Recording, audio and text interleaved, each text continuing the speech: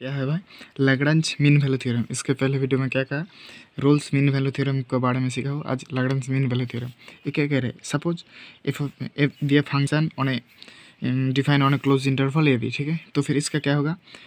Roles के जैसे ही Rolle's theorem के जैसे ही, क्या होगा? एफ़ ऑफ़ एक्स कॉन्टिन्यूस होगा क्लोज इंटरवल इंटरवल पर एंड एफ़ ऑफ़ एक्स क्या होगा? एग्जिस्ट करेगा। इसका डेरिवेटिव एग्जिस्ट करेगा। तीसरा पॉइंट क्या है? यही चेंज होगा। रोल्स थ्योरम में क्या था? F of x and f of b equal होगा, ठीक है? इसका मतलब f of f of b equal होगा। यहाँ पर क्या है? अगर नहीं इक्वल हो तो क्या होगा? तब आएगा हमारा Lagrange theorem then there exist at least one point c c क्या होगा? एक आर बी के अंदर रहेगा।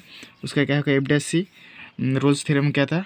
F dash equals to zero इसका मतलब अगर एफ़ ऑफ़ एफ़ ऑफ़ का वैल्यू इक्वल होगा, देखो इक्वल होगा तो हमारा रोल्स थ्योरम आ गया। इक्वल नहीं होगा तो लगडेंस थ्योरम आएगा, ठीक है? इसका मतलब f of b minus f of a divided by b minus a equals to f dash c इसका डेरिवेटिव ओके अब इसका जियोमेट्रिक इंटरप्रिटेशन देखते हैं तो समझ में आ जाएगा, देखो। हमारा क्या है? Suppose x axis y axis एक है हमारा? जो कार्ड था ए है।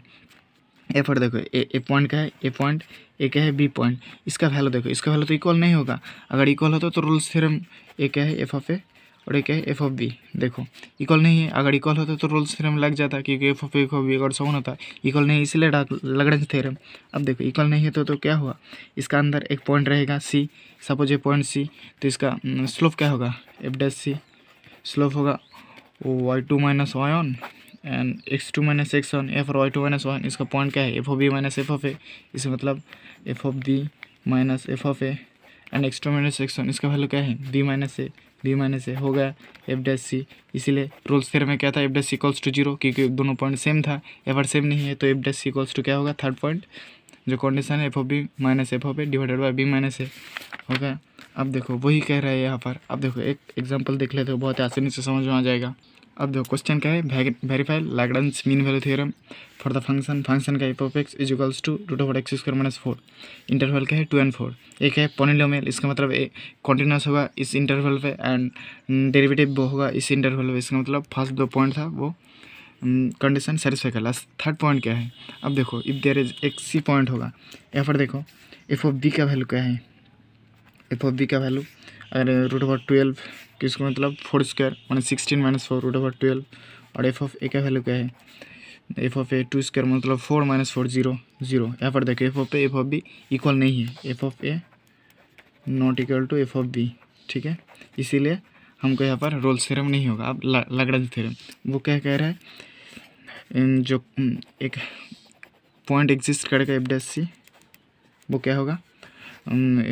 इक्वल क्या होगा? F of b minus f of a divide by b minus a तो फिर इसका अगर जो हमारा फ़ंक्शन है, इसका डेरिवेटिव क्या होगा? एफ़ डस एक्स होगा two x two root over x square minus four ये है, इसका डेरिवेटिव टू कट जाएगा, इसका मतलब x divided by x square minus four अब देखो, इस फॉर्मूला को अब पुट करना है। F dash c equals to f of b minus f of a divided by b minus a अब देखो एफ़ डैश सी इसका मतलब एक्स के पोजीशन पे सी पुट कर दो। C root over c square minus four equals to f of b इसका value क्या है? Root over twelve minus f of a इसका वैल्यू क्या है? ज़ीरो बी माइनस इसका मतलब फोर माइनस टू तो इसका वैल्यू क्या है? Root over twelve by four minus two two ठीक है? तो c root over c square minus four root over twelve इसका इसका वैल्यू क्या है? Two two root three divided by two two cut जाएगा। रूट ओवर थ्री अगर multiply कर दूँगा तो क्या c equals to root over c square minus four into root over three ठीक है? और इसको स्क्वायर कर दूँगा दोनों तरफ़ तो इसका value C square equals to C square minus four into three इसका मतलब C three C square minus twelve three C square minus C square two C square equals to क्या होगा? ट्वेल्व तो फिर सी स्क्वायर सी स्क्वायर का value क्या हो जाएगा? C C square equals to six तो सी का वैल्यू क्या आएगा? C equals to root over six plus minus यहाँ पर प्लस होगा, क्योंकि देखो रूट ओवर सिक्स जो हमारा इंटरवल का है टू एंड फोर इसका अंदर रहता है रूट ओवर सिक्स तो इसको सेटिस्फाई कर लिया। हमारा जो लगड़ज थ्योरम का कंडीशन क्या था?